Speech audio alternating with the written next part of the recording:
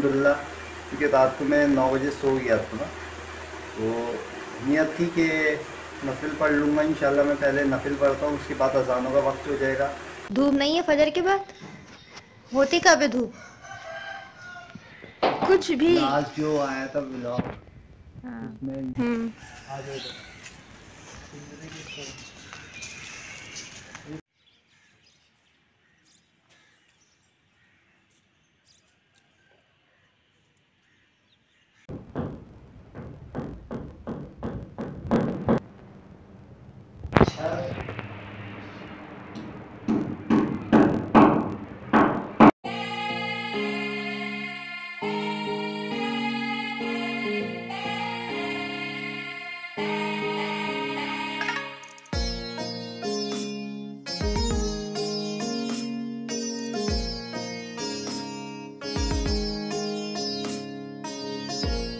आ वालेकुम back to my YouTube channel. कैसी है मेरी यूट्यूब फैमिली?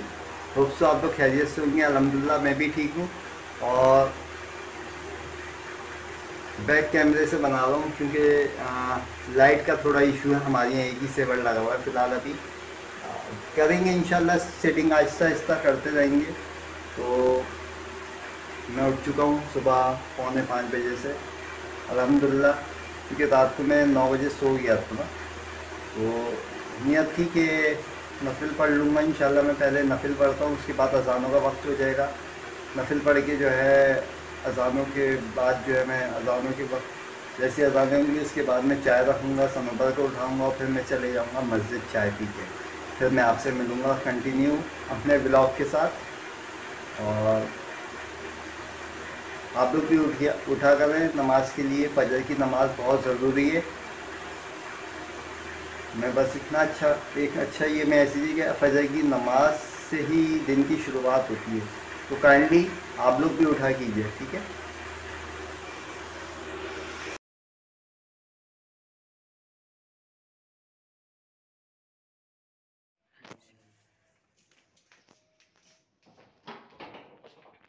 अल्लाह।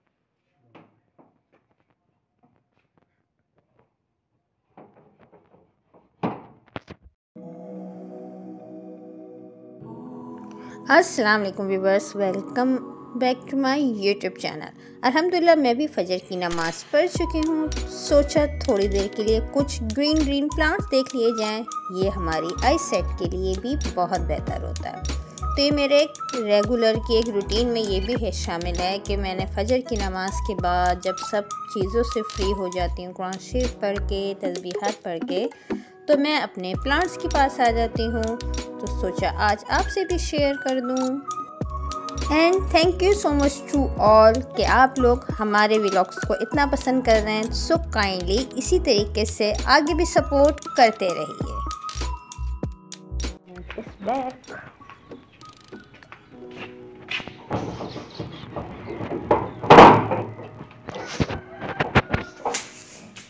वालेकुम अस्सलाम कैसे हैं आप? ठीक ठाक हैं? अल्हम्दुलिल्लाह आज धूप नहीं है आज फजर की हाँ। धूप नहीं है फजर के बाद? होती कब है धूप? अच्छा हमको सिखा रिया है।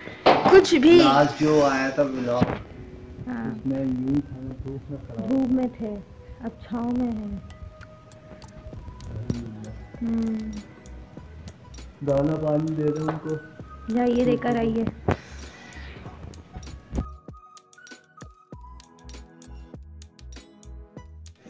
हम्म, हाँ कौवा भी आया था।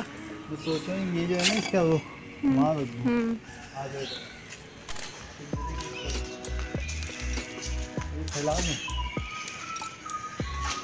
नहीं खाएँगे ये लोग खड़ा हुआ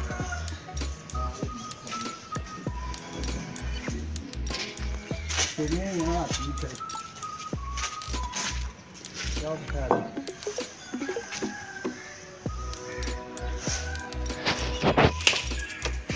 यहाँ पे चील कब्बे बहुत है। ना चिड़िया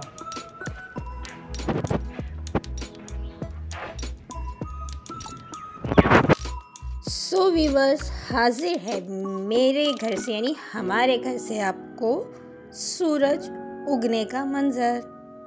आज मैं डिसाइड कर चुकी हूँ कि आप लोगों से शेयर करना है। बहुत वेट किया बट देख लीजिए कितना खूबसूरत लग रहा है। माशाल्लाह सुबहान अल्लाह और इसी खूबसूरत से सीन के साथ, यानी ब्यूटीफुल वाइब्स के साथ आपको मैं पेश करती हूँ उमेरा अहमद के नावल की एक लाइन कि बादशाहत किसी को भी पागल कर सकती है? पावर और पैसा। इंसान के खून का रंग बदले ना बदले, लेकिन उसको पानी ज़रूर कर देता है। सो व्यूवर्स चलिए हमारे साथ आज आफ्टर इशा यानी शाम के बाद हमें जब टाइम मिला है तो ये काम हमारे लिए बहुत ही ज़रूरी है कि इन वेंटिलेशन पॉइंट्स पे और ये जो वायर वगैरह हैं वाईफाई वगैरह के और नेट के कुछ, इनको थोड़ा सा तरीके से कर दिया जाए फिल वक्त के लिए। क्योंकि अभी कर्टन है पाइप्स हैं, बहुत कुछ काम बाकी है घर में। थोड़ा थोड़ा करके सब सिमट ही रहा है रोज़ की बुनियाद पर। यानी जब हम लोगों को टाइम मिलता है, हम कुछ ना कुछ समेट रहे होते हैं दोनों। तो आज जुनेद को खड़ा कर दिया है इधर नेट लगाने के लिए बिकॉज़ मच्छर कमरे में नहीं आने चाहिए। और जुनेद काम करें और पीछे से खड़े हो होकर मैं उन्हें तंग ना करूँ, ये तो नामुमकिन सी बात है। हमारा हँसी मज़ाक तो आहिस्ता आहिस्ता चल ही रहा है। कभी वक्त रहा जैसे हमेशा शेयर करते हैं आपसे शेयर करेंगे।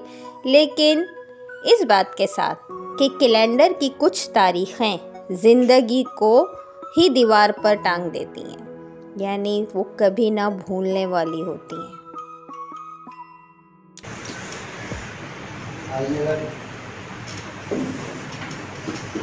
चौखट्टा।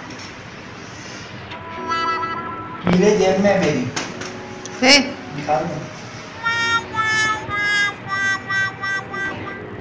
ये उसामा भाई ने जिस वक्त सूट सिलवाया होगा ना इसीलिए जेब बनाई होगी। इसमें माल रखते हैं।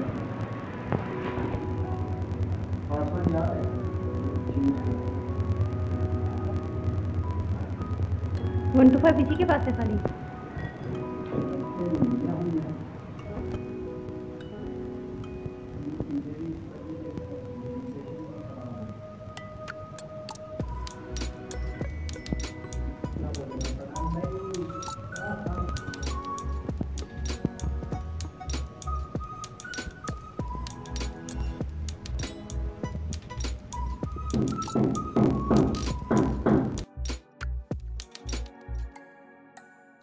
अल्हम्दुलिल्लाह, ये काम मुकम्मल हो चुका है। देख लीजिए, दोनों पॉइंट्स पे जो है नेट लग चुकी है जुनेद अब स्टोर समेट रहे हैं।